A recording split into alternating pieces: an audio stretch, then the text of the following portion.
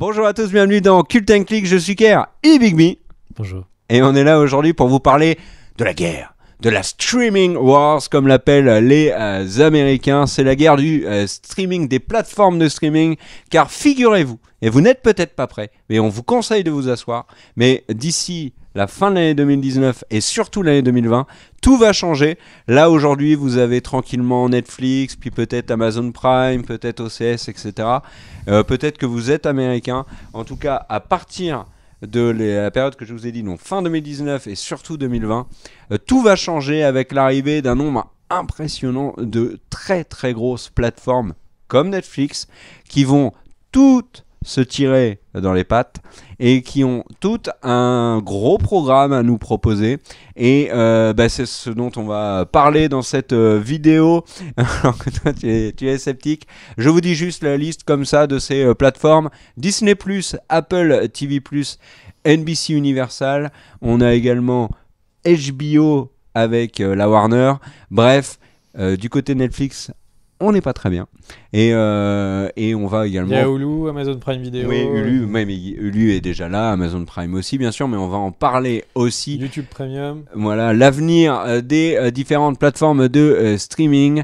Et avec, pour conclure, on parlera, mais est-ce que finalement, malheureusement, le grand gagnant de cette streaming wars, ça ne risque pas, malheureusement, d'être le téléchargement illégal? On va en parler dans cette vidéo avec, juste avant de se lancer... Ouais, juste avant de se lancer, quelques petites dates à retenir. Euh, là, vous avez plusieurs plateformes déjà disponibles. Donc, on l'a dit, Hulu, Netflix, Amazon Prime. On a l'arrivée d'Apple TV à l'automne 2019 qui sera suivi de très peu euh, par Disney Plus qui sortira en novembre 2019. NBC Universal arrive plus tard, c'est en avril 2020. Quant à Warner HBO Max, eh ben, j'ai pas la date. Euh, peut-être cette date existe sur les internets, j'ai juste oublié de la noter. En tout cas, il y a euh, beaucoup euh, de plateformes. On va commencer ce petit débat un peu, voilà, désorganisé, mais on va faire le, au mieux, hein, parce que on est on est comme ça.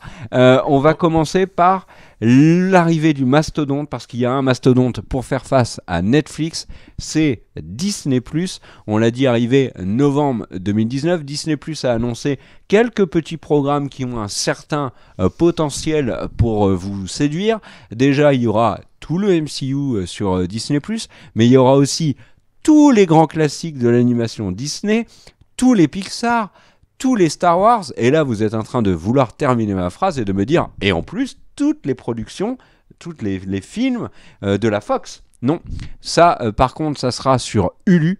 Le catalogue de la Fox qui comporte plusieurs milliers de films notamment euh, sera sur Hulu qui est une plateforme qu'il ne faut pas sous-estimer loin de là, d'autant plus que Disney a pris le contrôle hein, de, de, Hulu et qu'ils partageaient avec d'autres. Ils ont pris la majorité. Ouais, voilà, mais bon, ils, sont majoritaires.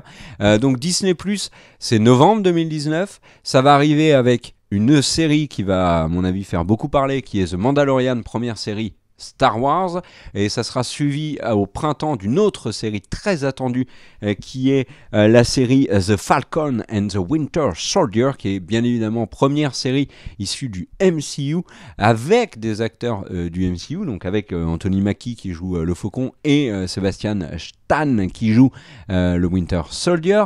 C'est bien évidemment l'après-endgame et donc c'est très très attendu par les fans. Il y a d'autres séries hein, qui arrivent. Il y a un High School Musical il y a des séries euh, sur d'animés euh, adaptés de Pixar.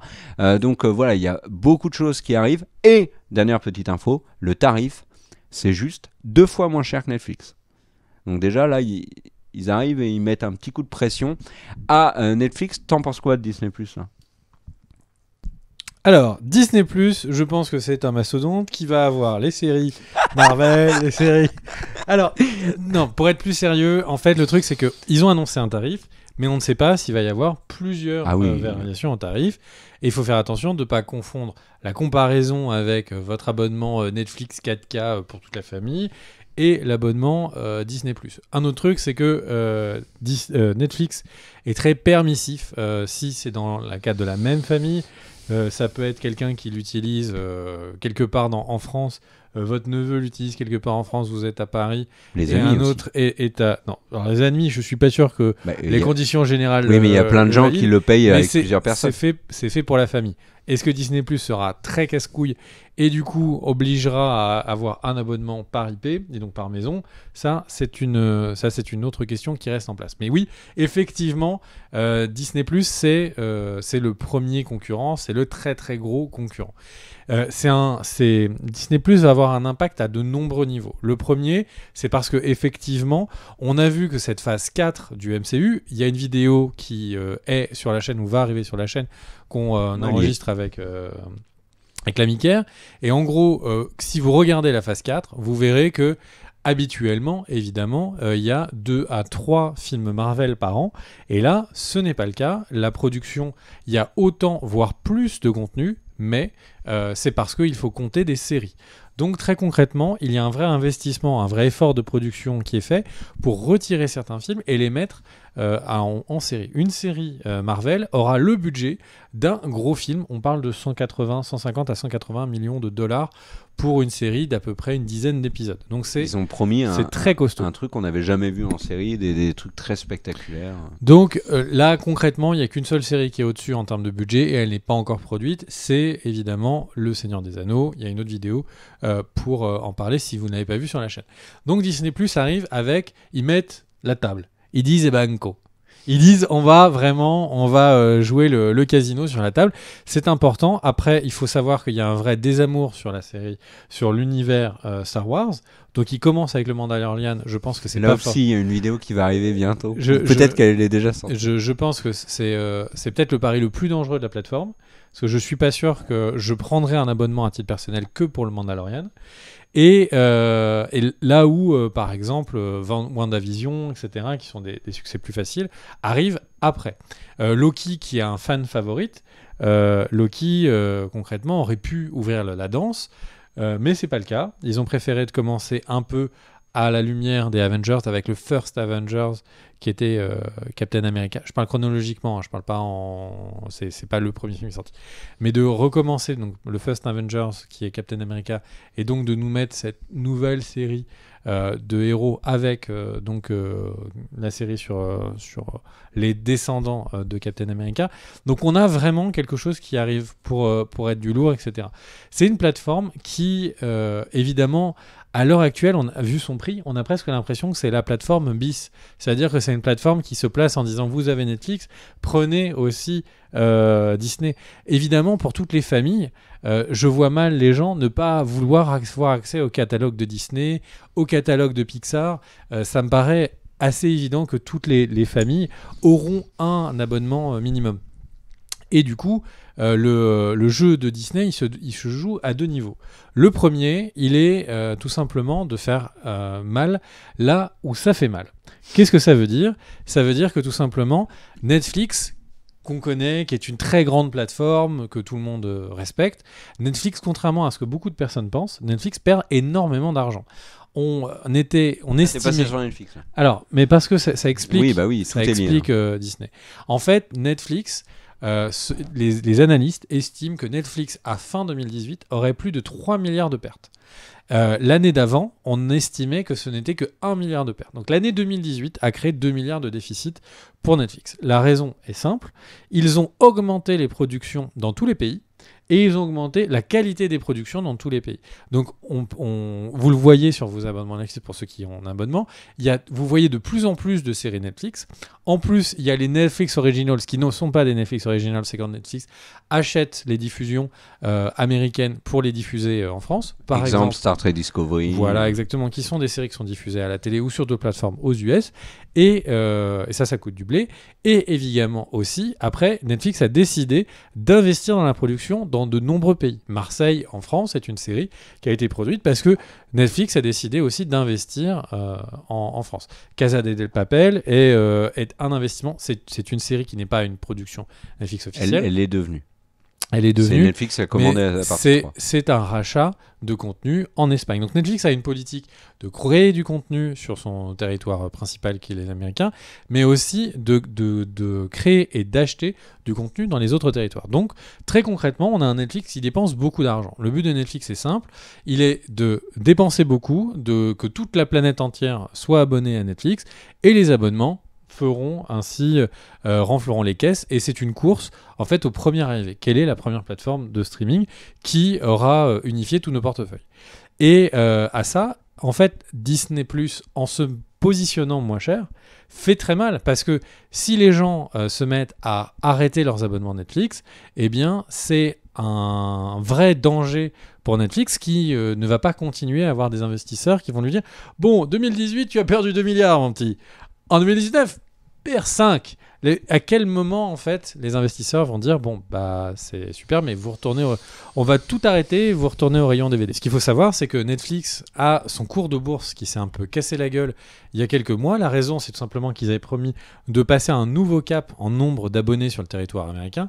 Et cap qu'ils n'ont, un, euh, ils n'ont pas euh, réussi à l'atteindre. Et deux, deux, ça faisait très longtemps qu'ils n'avaient pas connu une baisse en termes de nombre d'abonnés aussi forte. Donc là, Disney. Même- C'était même jamais arrivé. Disney fait mal vraiment à deux endroits. C'est-à-dire que non seulement il fait mal sur le nombre d'abonnés, mais en plus il fait une promesse que ils vont arriver avec des reins solides et des reins frais, là où Netflix est déjà à 3 milliards de cash cramé. Euh, alors vous pourrez dire que oui, mais du contenu qui est, qui est payé, c'est un trésor de guerre qui se revendra un jour. Oui, oui, c'est vrai. Mais là tout de suite maintenant, ils ont 3 milliards de pertes. Donc on a vraiment Netflix qui est dans une situation où ils se sont obligés d'être dans une fuite en avant constante. Et euh, tu vas en parler, ils sont pris à la gorge par d'autres structures qui retirent du contenu. Alors oui, il va y avoir énormément de concurrents pour Netflix, mais déjà rien que ça, Netflix toute seule étant en difficulté comme tu l'as dit. D'ailleurs, avant euh, de, faire cette vidéo, on avait pu lire euh, certains articles et on avait discuté entre nous. On avait pu voir que si Netflix connaissait une nouvelle baisse boursière comme elle l'a connue il y a quelques semaines, alors qu'ils avaient annoncé des résultats qui étaient positifs mais inférieurs aux prévisions, euh, ils ne pourraient peut-être pas survivre à une nouvelle euh, baisse boursière aussi violente. Donc Netflix est déjà elle toute seule en danger. Et le vrai gros danger actuellement de Netflix qui est et c'est un danger vraiment li- 100% Netflix, c'est la hausse des prix. Netflix a modifié euh, sa grille tarifaire dans de nombreux pays et ça s'applique aussi euh, en France, c'est peut-être déjà actif, j'ai pas fait attention. Euh, mais en tout cas, ce qui a été constaté, c'est qu'il y a une baisse de la croissance du nombre d'abonnés dans tous les pays où il y a eu une augmentation des tarifs. Donc si vous avez augmentation des tarifs du côté de Netflix et qu'à côté de ça, vous avez d'autres plateformes qui arrivent avec des tarifs inférieurs, c'est déjà dangereux. Mais surtout, là où c'est extrêmement dangereux pour Netflix, et c'est pour ça que moi je pense vraiment, et je peux l'affirmer, là c'est en mon fort intérieur, Netflix va connaître une année 2020 extrêmement compliquée. Pourquoi? Parce que Netflix a dépensé Explique-moi. a dépensé des millions et des millions pour acheter des séries et des films afin de les obtenir sur leur catalogue. Exemple, Friends. Sauf que avec l'arrivée de nouvelles euh, plateformes comme NBC, comme la Warner, etc., etc., eh ben ces plateformes qui étaient à la base les propriétaires de ces séries, c'est eux qui les ont créées, eh ben elles vont les récupérer. Elles ne vont plus accepter que Netflix garde ses productions. Or, certaines de ces productions sont presque vitales pour euh, Netflix. Deux exemples qui est tout con. L'année dernière, Netflix a failli perdre Friends, quand même une série qui commence à dater. Et ben Netflix a mis 500 millions de dollars dans la renégociation des droits pour récupérer Friends. Or, Friends, c'est une série NBC et NBC va avoir sa plateforme. Autre série NBC, The Office. The Office, ça fait partie des trois programmes les plus regardés aux États-Unis sur Netflix. C'est un truc incroyable. Et ça, eh ben on le sait d'ores et déjà. Euh, The Office va retourner sur, euh, N- euh, sur NBC, sur la plateforme de NBC en janvier 2021. Donc Netflix va perdre énormément de contenu. Ils perdent chaque mois du contenu, bon ils en rajoutent aussi, mais ils en perdent et ils ont perdu par exemple les Disney, enfin il y avait quelques Disney, quelques grands classiques, quelques films du MCU aussi, tout ça c'est terminé. On a bien vu que l'arrivée de Disney Plus a quand même provoqué la chute de toutes les séries Marvel Netflix. Donc pour Netflix, il va falloir réellement se réinventer et ça va être très compliqué, d'autant plus que parlons maintenant des autres plateformes. On a, euh, on va les faire dans leur Je peux me permettre de ra- rajouter un élément sur Netflix. Il faut aussi voir que Netflix euh, n'a pas découvert ça la semaine dernière. C'est-à-dire que tout ce qu'on est en train de dire, euh, Oui. Netflix pour s'est pas réveillé. T'imagines le jour de regarde la vidéo et dit Ah Mais oui, on a non, pas mais on est dans la merde. Allô, chérie? Oui, range la vaisselle. On va vraiment se barrer vite. Euh, ok, donc en gros, le truc, c'est qu'ils n'ont pas découvert ça hier. Ça fait déjà plus de deux ans que Netflix prépare les choses. Et de quelle manière ils préparent les choses? Eh bien, vous l'avez vu. En fait, quand il y a eu une grosse annonce il y a deux ans que le patron de Netflix avait voulu euh, dire que maintenant, il avait créé un certain nombre d'abonnés, il voulait fidéliser. Et donc, en fait, Netflix a d'un côté acheté du nouveau contenu, fait ses nouvelles productions dont on a déjà parlé, pour essayer d'atteindre cette fameuse barre des 150 millions euh, d'abonnés mensuels mondial. Et à côté de ça, pour que on garde tous nos abonnements, ils se sont mis à obliger en fait les différents succès de Netflix à devenir des saisons, des séries à saison. C'est-à-dire Stranger Things, très clairement, était une série qui était prévue sur une saison. Suite au succès, Stranger Things a été allongé sur une deuxième saison. La Casa des Papels, Alors. la partie 3 a été. euh, Exactement. Euh, le le, euh, 13 Reasons- euh, pardon, j'ai dit n'importe quoi. Stranger Things était prévu en trois saisons. Ça a été allongé à cinq saisons minimum. Euh, 13 Reasons Why, une saison. La deuxième saison a été créée euh, pour, euh, pour le plaisir. Et du coup, en De reprenant. Netflix, hein, pas forcément le vôtre. Ouais. Et, euh, et du coup, en fait, on est face à des séries. Et personnellement, j'ai pas beaucoup aimé la saison de, de Stranger Things, de de, 13 euh, de Reasons 13 Reasons Why. Stranger Things, c'était très bien. Et euh, le truc, c'est que très clairement, on a des séries qui sont des vraies commandes. Et c'est quelque chose qu'il n'y avait pas. c'est Le vent de fraîcheur qu'il y avait sur Netflix ces quelques années précédentes, c'est quelque chose qu'effectivement, on, euh, on a moins euh, là dans, cette, dans ces nouvelles saisons. La saison 2 de Stranger Things, et là je me trompe pas, c'est vraiment de Stranger Things dont je parle, que j'avais trouvé un peu moins bien parce que c'était visiblement en cours de production qu'ils avaient appris qu'il fallait allonger les choses. Si vous regardez les interviews des euh, Dove Brothers, des vous, frères de vo- fer, ouais. vous voyez que euh, en fait ils annoncent des choses ou ils teasent des choses qui sont visiblement des trucs qu'on va pas apprendre avant euh, trois saisons. Et à côté de ça, on a une saison 3 qui est, de mon point de vue, très réussie. Donc, manque de fraîcheur ne veut pas dire forcément louper. Mais Netflix ayant changé de politique, vous le voyez dans les séries que vous regardez euh, maintenant. 13 Reason Why, c'était absolument pas prévu qu'il y ait une deuxième saison. Au contraire, ça devait être une saison, un choc, et c'est tout. C'est quand même très paradoxal que- ce que tu dis parce que tu dis que Netflix, en gros, euh, mise euh, pour sa survie sur la fidélisation des abonnés. Or, il y a quand même deux éléments que Netflix fait depuis quelque temps et qui euh, nuisent énormément à son image et je pense qu'il est en train de casser l'idylle qu'elle avait avec son public. Un, l'augmentation de- des, tarifs, on en a déjà parlé. Et deux, l'annulation massive de plein de séries qui provoquent un rejet de très très nombreux fans. On a eu euh, l'annulation de Santa Clarita Diet euh, récemment qui n'est pas du tout passée. Euh, Lucifer a été récupéré, ils ont refait une saison, ils l'ont annulé. Euh, aide-moi, la série des frères Wa- Wachowski, euh, Sans suite. Sense- Sense8 a été euh, aussi annulée. Marco Polo a pas eu de fin. Enfin, il y a eu beaucoup beaucoup de productions qui ont été arrêtées parce que Netflix a, a dit euh, maintenant euh, on va faire des formats de 2-3 saisons et puis quand ça sera un peu moins hype, on, on cut et on s'en fout. Et ça, c'est très problématique parce que Enfin, je suis pas entièrement d'accord. En Ouais, gros, il y a Marco quand même Polo- beaucoup de, de Marco fans, Polo euh, était- au moment de la production de Marco Polo, euh, Marco Polo était une des trois séries les plus chères à produire de tout, euh, tout network, plateforme confondue. Le truc, c'est que moi, Marco Polo, j'étais particulièrement fan de cette série et, euh, et je sais pas où était passé l'argent. Mais le truc, c'est que concrètement, c'était une des séries qui avait coûté le plus de thunes. Il est évident que suite au faible succès, faible ampleur qu'avait la série sur les réseaux sociaux, il y a bien un moment où Netflix va pas se payer comme ça une danseuse euh, très jolie. euh, Enfin, le, le truc, c'est qu'il y a un moment où Netflix est obligé de faire des choix réalistes et de Ah, mettre son là, argent là, c'est trop sur ce qui crée de l'abonnement. Mais je suis d'accord. Mais Mais, tu- en fait, ils se sont retrouvés à être, à dire au début, nous on est les champions, on ramène les séries, vous inquiétez pas, on, on- on va tout, vous les fans, on sait vous parler, on, vous allez voir Netflix, on est, on est là pour vous. Et en fait, ils se sont retrouvés face aux réalités des autres chaînes. Ils sont, quand ils sont devenus gros, ils ont eu les mêmes problématiques que les gros. Ils n'ont même ont plus dû arrêter. Ils ont dû arrêter tout ce qui marchait pas. Regarde, euh, Orange is the New Black, c'est terminé. House of Cards, ça s'est terminé. Alors en plus, euh, ça a été une véritable catastrophe la fin. Euh, ils ont annulé énormément de séries. fini, catastrophe aussi. Non, mais même la saison 4, euh, juste avant, elle était beaucoup moins bien que les trois premières. Donc, il y, a- il y a énormément d'éléments, mais enfin, euh, ne, ne- ne tirons pas, revenons plutôt sur les autres plateformes, et rapidement, parce qu'on n'a pas énormément d'éléments, et il y en a certaines qui sont moins fortes quand même. de dire juste un, un élément sur Netflix qui est, qui est important. Ouais. Euh, quand vous regardez, en fait, quand vous arrivez sur Netflix, les, les images que vous avez devant les yeux pour vous promouvoir les séries vont être différentes pour vous, pour votre voisin, pour moi. En gros, Netflix est euh, très fier de dire qu'il travaille sur un algorithme pour que la manière dont il propose le contenu corresponde le mieux à la personne. Donc ça veut dire qu'en fait, le con- les goûts, euh, tout ce qu'on a regardé, le temps qu'on a passé à regarder particulièrement, est valorisé et dit voilà, en fait, la personne a regardé beaucoup de trucs qui sont action. Et donc, les bandes annonces, tu sais, qui sont mis euh, des épisodes, parfois, sont générées automatiquement et on va se retrouver avec, une, euh, avec des génériques qui sont tout le temps action si on est euh, du genre à tout le temps regarder action, euh, plutôt lent si on est plutôt à regarder des trucs lents et comme Tonabe. Et le truc, c'est que on C'est a. génial, notre ami. Oui, mais c'est. Non, mais c'est c'est une série exceptionnelle.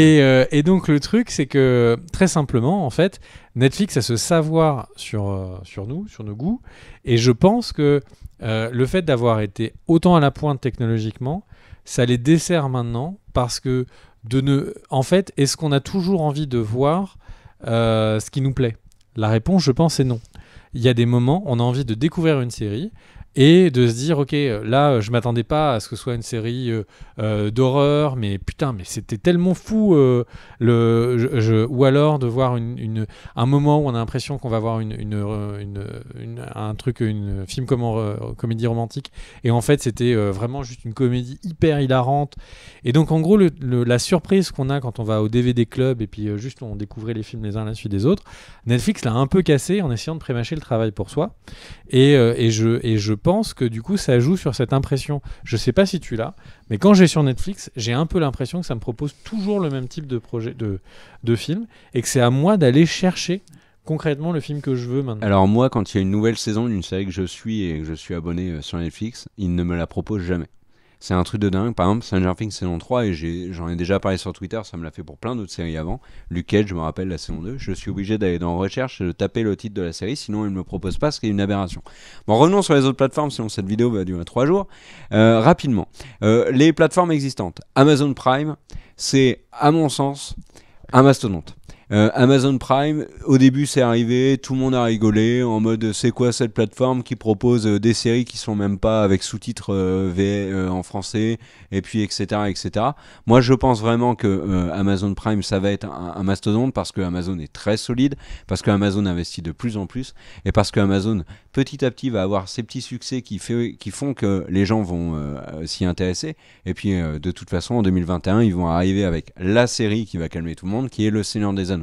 Donc je ne m'inquiète pas du tout pour euh, Amazon Prime, qui en plus, elle ne fait pas vraiment partie du débat, puisque de toute façon, une immense partie des gens qui ont Amazon Prime ne le savent pas, puisqu'ils ont pris euh, Prime uniquement pour les livraisons euh, à domicile de ce qu'ils achètent sur Amazon. Donc ça, déjà, je pense que le fait qu'on puisse avoir accès à Amazon Prime quand on est abonné Prime, c'est juste une, idée en, or, et ça permettra à Amazon d'être très lourd. Les autres plateformes, c'est là où je commence à avoir des doutes. Je me permets de rajouter que euh, Amazon a aussi un autre modèle économique qui n'est pas en place en France mais qui est en place aux US, qui est en plus d'acheter des films qui ne sont pas dans le catalogue de Prime, tu peux acheter, enfin louer le film à, à la demande Ouais, mais ça, en plus.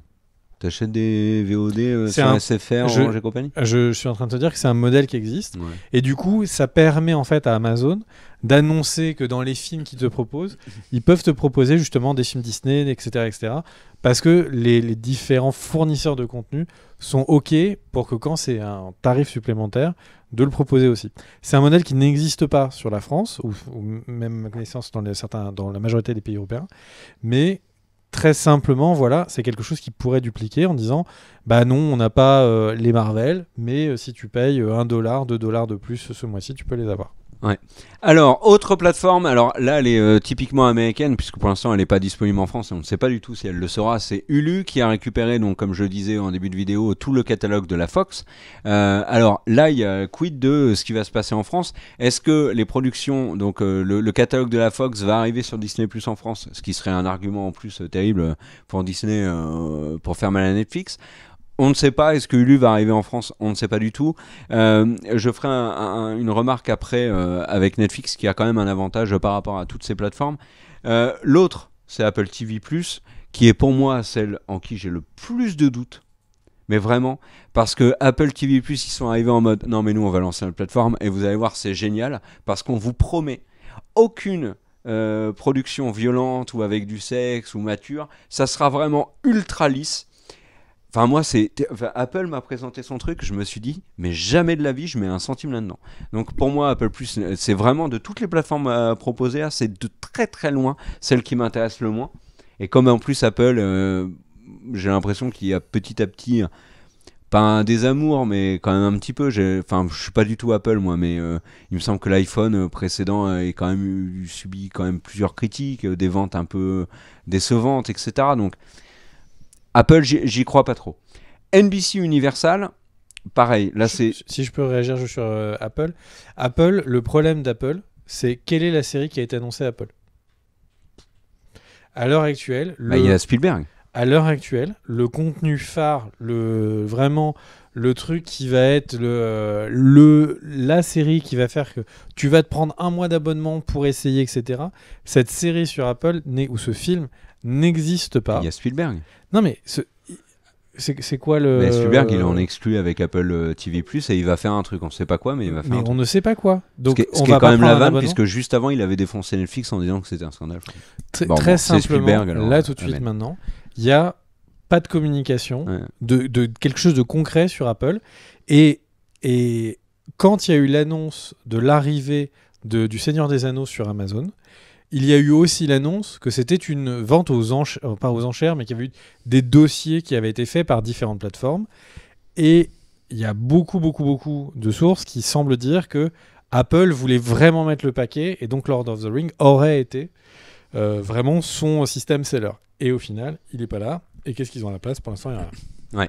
Alors, les deux autres plateformes dont je vais vous parler euh, sont pourraient être considérées comme des très très gros outsiders. On ne sait même pas si ça va être en France, Euh, mais j'ai envie de dire méfiez-vous. La première, c'est NBC Universal, donc qui possède quand même des grosses séries, Friends. The Office, on en a déjà parlé, mais aussi Urgence, des séries qui euh, commencent à, qui datent, hein, mais qui font partie de- des- séries cultes. NBC a plein de productions, euh, bien sûr, Universal également, et surtout, il y a un truc, euh, moi, je, le, dirai après, le surtout.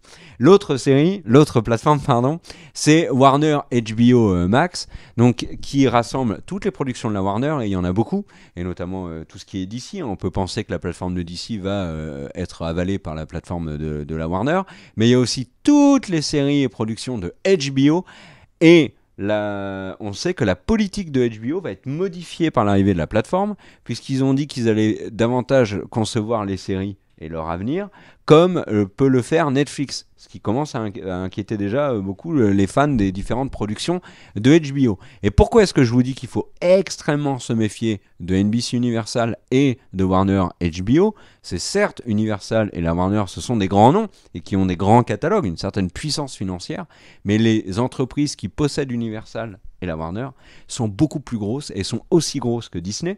La première, pour NBC Universal, c'est Comcast, qui est un géant de la télécommunication euh, aux, États-Unis, qui est quand même la seule entreprise qui est allée essayer de voler euh, la Fox à Disney, avec une proposition financière qui était euh, aussi importante, voire plus importante que celle de Disney. Et l'autre boîte qui est aussi grande que Comcast, c'est AT&T qui possède donc la Warner et HBO, et c'est AT&T qui veut que HBO modifie légèrement sa politique pour devenir encore plus grande. Donc potentiellement, on peut imaginer, notamment en France, qu'est-ce que ça peut avoir comme conséquence? NBC Universal, en France, j'ai aucune idée. Par contre, euh, on peut imaginer que tout le catalogue HBO arrive sur un, un service de streaming en France, ou alors, ce qui est, ce qui- c'est ce qui m- m'arrangerait parce que j'aime bien OCS, c'est euh, un partenariat entre OCS et euh, AT&T pour la diffusion de tout le catalogue de la Warner euh, et, et HBO en Pour France. l'instant, le, lien commercial de CS, c'est plutôt Oui. HBO. Oui, oui, oui, bien sûr. Mais alors, là où je disais que Netflix avait un avantage par rapport à toutes ces plateformes, c'est que, eh ben là, elles sont bien gentilles, ces plateformes, en me disant on arrive avec notre contenu et tout. Mais à l'étranger, il y a la plupart des trucs qu'ils qu'ils possèdent qu'ils ne peuvent pas mettre sur leur plateforme parce qu'ils ont vendu les droits justement à Netflix. Et c'est un vrai problème. Regardez par exemple NBC, sa série phare, qui une de ses séries phares, qui est The Office, ils ne pourront pas le mettre sur euh, leur plateforme dans, dans les six premiers mois puisqu'elle sera encore en exclusivité sur Netflix. Et en France, ça va être encore pire. Donc, je pense que pour Netflix, il y a encore un certain répit grâce à Mais ça. si tu te souviens, euh, quand euh, House of Cards avait commencé, Et c'était sur Canal. House of Cards était sur Canal et n'était pas sur Netflix. Et il y a eu une saison quasiment de délai entre l'arrivée d'House of Cards production Netflix et euh, la sortie de Netflix. Donc on est face à des géants qui ont largement de quoi tenir une bonne année euh, pour s'installer. Mais comme tu l'as dit, euh, Disney Plus, on les voit bien arriver dans tous les pays, ne serait-ce que parce que Disney, faut pas oublier qu'ils ont Disney XD, Disney XD qui est déjà diffusé dans tous les pays, dans des différentes langues, etc. Tous les pays, grands grands pays de diffusion. Euh, donc en fait, il y a déjà des branches euh, Disney qui sont dans plein de pays pour aller négocier les droits, euh, racheter les droits. Sur HBO, on... ça fait longtemps que moi j'attendais que HBO arrive en France. Bah, ils sont sur OCS, c'est vachement bien. Et en fait, le truc, c'est qu'ils sont sur OCS, tant mieux pour nous, parce qu'on a un abonnement qui gère tout, mais, euh, mais HBO n'est pas en France depuis longtemps. Et on a toutes les saisons de Game of Thrones qui auraient à elles seules justifié de prendre la- l'abonnement d'HBO. Donc il faut voir aussi qu'il y a des questions technologiques qui se posent d'aller avoir d'avoir les serveurs euh, localement, de, de- de les louer. Et, euh, et puis de, de les unifier parce que aussi, euh, aussi stupide que ça puisse paraître, Amazon a tous les serveurs et est capable de distribuer partout dans le monde, mais la plus pourrie de toutes les applications à l'heure actuelle, c'est euh, Amazon. Donc la question Mais il technologique, faut lui laisser le temps. Et- Ça va. Mais ça fait déjà deux ans.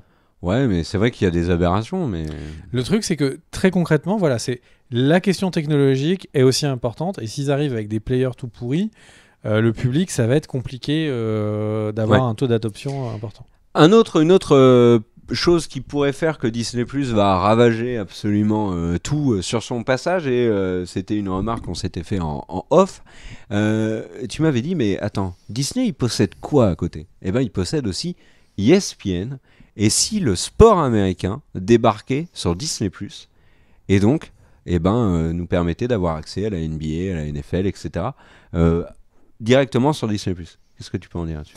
Alors en fait, le truc, c'est que euh, la télé aux États-Unis euh, perd énormément d'audience, surtout au niveau des jeunes. Chaque année, le marché de la télé descend et on est sur certaines franges de la population, je crois que c'est les 20-25, euh, la population qui regarde la télé est divisée par deux. Tous les ans, la population est divisée par deux, divisée par deux, etc. etc.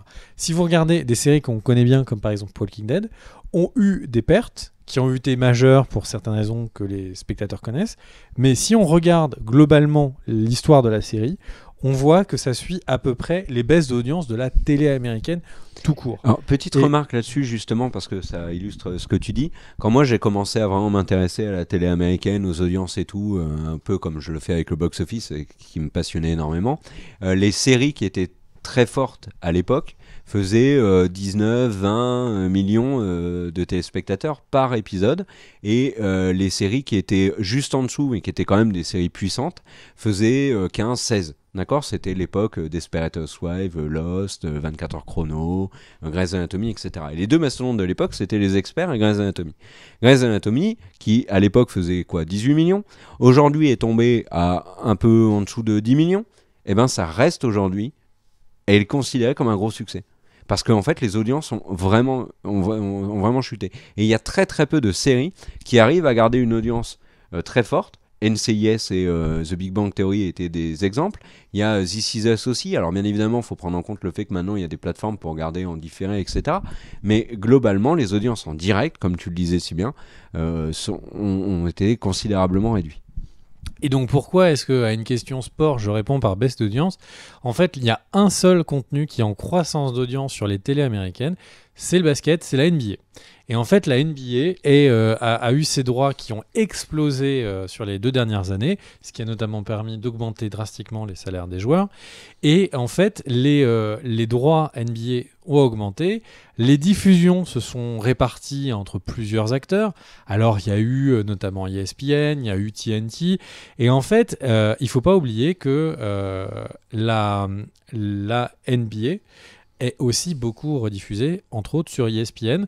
ESPN est le network le plus important dans ce qui est aussi, et, là je parle aussi de couverture euh, des matchs, diffusion des matchs. Alors je parle de la, du basket parce que d'avoir le seul contenu en augmentation d'audience sur les franges des, euh, des, des jeunes euh, franges de population, c'est extrêmement stratégique parce que c'est les acheteurs de demain pour les marques. Il faut, bien, faut bien voir que tout ça, c'est pour nous vendre du Coca-Cola. Et donc le truc, c'est que ils possèdent euh, aussi la rediffusion de hockey. Ils, ils ont énormément. Ah bah c'est mort. Maintenant ils vont être ensemble. c'est ce que j'allais dire. Et, euh, et donc le, le truc c'est que euh, si demain Disney décide de dire eh ben en fait tous les abonnements l'abonnement eh ben One More Thing ça comprend tous euh, nos contenus sport ou même s'ils disent pour le double du prix vous avez tous nos contenus sport c'est euh, aux États-Unis, c'est- un tremblement de terre euh, colossal. Alors nous, on, on sera moins impacté parce que la manière dont la NBA alors, euh, est, est négociée. Alors vous allez me dire, je parle beaucoup de basket, mais euh, faut bien voir que les droits de la, du, la NFL aux États-Unis, c'est aussi quelque chose d'important. Mais en fait, bon, en France, voilà, le basket, il est diffusé en télé chez Bein, mais il y a la ligue de basket, la NBA, a son abonnement euh, sur lequel on peut acheter, regarder en streaming et après sur les télé connectées euh, aussi. NBA League Pass. NBA League Pass. Et donc en fait le truc c'est que très concrètement, si derrière on a, on a une partie du League Pass euh, qui est intégrée euh, dans Disney, enfin d'un seul coup on peut imaginer un truc qui est juste fou.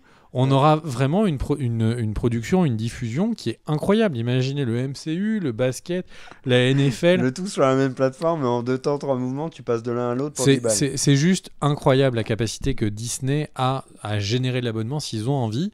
Après, ils ont peut-être aussi envie de garder un ESPN euh, rentable, etc. parce que il a euh, ses propres canaux de diffusion et sa propre manière de monétiser. Mais à n'importe quel moment, la, la frange sport peut exploser euh, Netflix. Ouais, c'est terrible à quel point Netflix peut être mis à genoux euh, par Disney. Bah, Il y, a- il y a vraiment plein de manières. Et le truc, c'est que Netflix va se retrouver avec un l'abonnement supplémentaire. Si on part du principe que les gens n'auront qu'un à deux abonnements, l'abonnement supplémentaire, comme tu l'as dit, par essence, ce sera Amazon Prime Video parce que les gens l'ont déjà sans le savoir. Et donc, qui va être le, le principal? Telle va être la question. Et, euh, et Disney a plus que les moyens de, de répondre. Et donc, euh, donc j'ai envie de dire, si on revient maintenant sur toute cette question de, de network, moi, je, je, je te pose une question.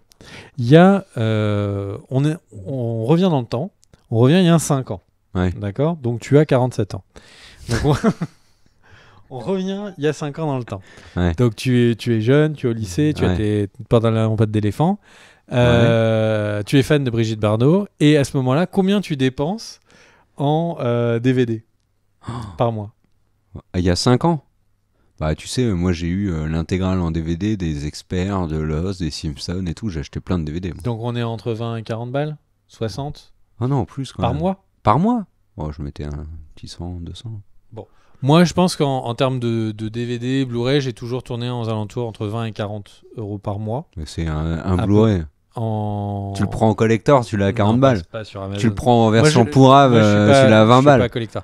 Mais du coup, le truc, c'est que très concrètement, et euh, là, je parle lycée sur l'année, évidemment, j'en achète plus vers Noël et, moins, et moins en janvier. Mais du coup, le truc, c'est que, en fait, si tu fais le bilan, un Netflix, un Prime Video, un Disney, etc., si tu les cumules tous, je n'arrive pas au prix de ce que je mettais en abonnement, euh, en, en abonnement, euh, enfin en, achat de, DVD Blu-ray. Le seul truc qui s'est passé, c'est que là, j'ai une bibliothèque avec tous mes DVD et mes Blu-ray, et que si je transfère tout en abonnement, eh ben, je posséderai plus rien. Oui, mais tu pourras location. beaucoup, beaucoup plus je de choses. pourrais voir beaucoup, beaucoup plus de choses.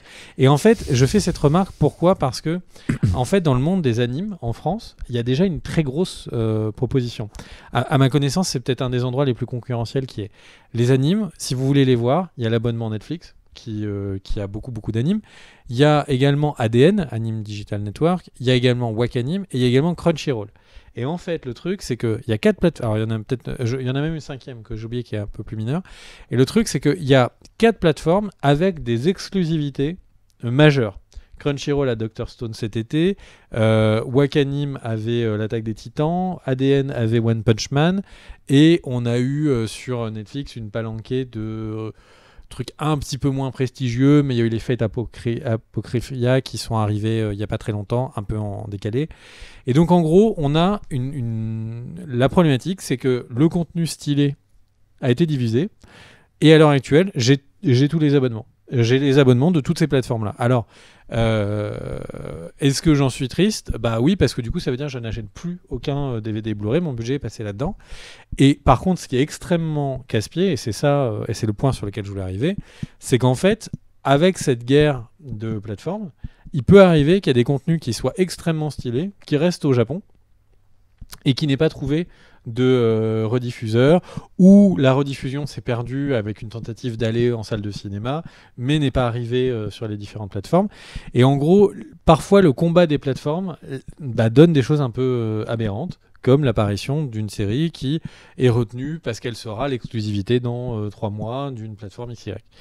Et, attendez-vous à la même chose en film et série. Vraiment, on faut qu'on s'attende à la même chose. Et euh, c'est juste que, euh, eh bien, il va falloir qu'on travaille tous euh, beaucoup plus, qu'on gagne au loto, mais Ouais. parce que vous aurez votre abonnement UGC ou, ou, ou Gaumont pour aller au ciné. Vous aurez sans doute deux à trois abonnements.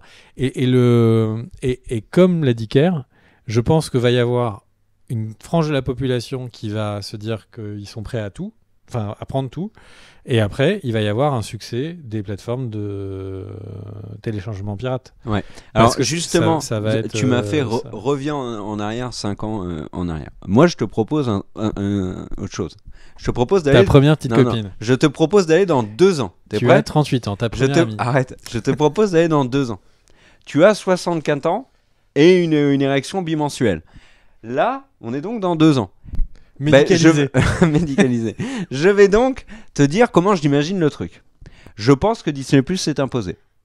Je pense qu'Amazon Prime est resté euh, là puisque on a notre abonnement Prime. Je pense que Netflix a morflé sévère.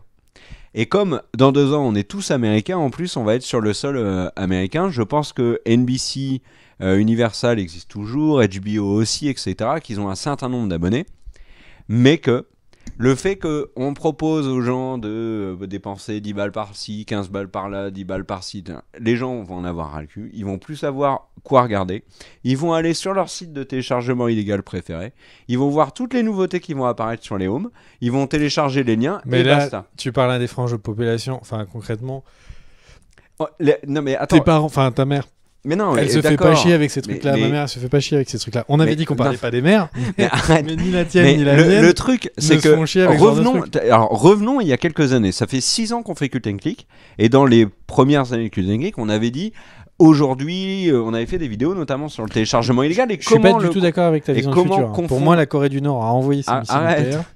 C'est Mad Max Fury Road. Mais non, on est tous, on est harnachés comme ça Oh. à l'avant d'une voiture euh, dans un désert nucléaire. au, au début de, de Click, on avait fait des vidéos sur le téléchargement illégal et on avait dit que la solution pour que le téléchargement illégal soit freiné, c'était d'avoir une plateforme La licence unique globale. ou une licence globale, voilà, et on était tous partants pour la payer et avoir accès à plein de choses.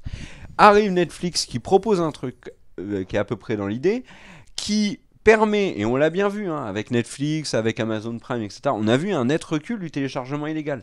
Réponse de tout le monde, c'est Ah bah nous aussi on va le faire, et du coup tu as 10 services qui vont pop, et donc bah, tout le monde qui va se dire oh, ça me casse les couilles, et je vais euh, télécharger. Et de re- euh, maintenant je reviens deux ans, dans deux ans. Je, je Ah, peux euh, réagir sur la Juste, euh, je termine mon, mon argument. Dans, dans deux ans, en France, comment je vois le truc dans deux ans? Si OCS a réussi à garder son deal avec HBO, OCS est là. Si HBO est arrivé en France avec sa plateforme, OCS n'existe plus, malheureusement. pareil pour Canal Play. Je ne vois pas du tout les deux plateformes réussir à survivre. Je sais même face pas à qu'en des gens. 2019, Canal Play existe encore. voilà. Mais en tout cas, OCS, c'est une, une grande et belle plateforme actuellement. euh, on l'a vu, ils proposent des séries de qualité. Ouais. Et, euh, et perdent HBO, s'ils perdent HBO, je suis très inquiet pour OCS. À côté de ça, je pense qu'en France, on aura pareil, Disney Plus qui va arriver. Je pense qu'Amazon Prime sera toujours là, que Netflix sera toujours là, parce qu'il y a un truc qu'on n'a pas dit sur euh, Netflix, c'est quand même hyper important, c'est que c'est le pionnier, donc il est déjà installé, et donc il a déjà un beau pécule d'abonnés, et qu'il va pas tous les perdre d'un Un coup. peu moins de 150 millions d'abonnés. Mais, mais ils sont là, tu vois, c'est 150 millions d'abonnés. Et euh, tu vois, si nous on avait 150 millions d'abonnés, franchement, on serait content. on, serait... bon, on serait un peu emmerdé dans la rue. Bah, on. Ce, ce On pourrait pas pisser On aurait tranquille sur les l'impression qu'il faudrait faire du mainstream, euh, des vidéos de 5 minutes, euh, comme vous regardez là. Ouais, exactement. Bref, et, euh, et dans, dans quelques. En France, je, je vois bien, donc je dis, j'ai perdu le film, mais Disney, Netflix, Amazon Prime, mais les autres, les NBC et tout, je pense pas du tout qu'ils vont réussir à franchir la, la, Alors. le- la frontière. L'Atlantique, euh, passer fait, la douane. Je suis d'accord avec toi, et du coup, euh, je voudrais, euh, pour finir un peu, amener le débat sur un autre sujet. Si on est d'accord qu'il y a toutes ces plateformes, on est, les gens prennent 1, 3 abonnements, 10 Ça abonnements, fait etc. au moins 45 minutes qu'on parle. Il y a un grand perdant. Il y a un vrai grand perdant, et c'est nous. Le truc, Ah c'est oui, que ça c'est clair. Ça c'est clair. Ça on, est, que- on se fait vraiment bien. Et je, d'avoir. et je ne parle pas de euh, d'avoir 10 abonnements, etc. Parce que par exemple, il y a des velléités comme l'Apple TV d'avoir en fait d'aller taper, de faire une application qui est Apple TV, d'aller taper dans tous les systèmes d'abonnement que tu vas, pour qu'en gros tu vas juste sur l'Apple TV et tu vois tous les contenus qui sont arrivés. Donc il y, aura sans doute des solutions. Plus le, ces abonnements seront fouillis, plus il y aura des solutions technologiques. Mais pourquoi je dis qu'il y aura un perdant C'est parce que la petite série, euh, les, euh, les légendes, les séries françaises, Hmm. euh, bah où est-ce que tu vas la regarder? Mais sur Canal. Mais c'est Sur déjà. Canal Play. Tu vas en plus te taper Canal Play Mais par rapport à non, tout Canal, c'est pour les Non, abonnés. mais, mais les Canal chaînes, s'en fout. ça, les chaînes vont exploser. Donc le truc c'est que en fait ce que je suis en train de dire c'est que les séries euh, qui ne seront pas les séries main- mainstream, les séries qui ne seront pas des séries américaines ou produites et commandées directement par des euh, majors américains, ces séries, ces films, eh bien nous ne les verrons plus. Oui, mais La enfin, Dolce quand tu Vita- dis qu'on est les grands perdants, c'est surtout qu'on va, au lieu de nous demander de payer 10 balles, on va nous demander de payer 80. Non, non, non, mais ça c'est un point. Mais le deuxième point, c'est que la Dolce Vita, ou les, vraiment les grands films d'il y a quelques années maintenant, les, où est-ce que tu où est-ce que tu les regarderas? J'ai cru que tu parlais de la Dolce Gusto, la grande cafetière. Non, non.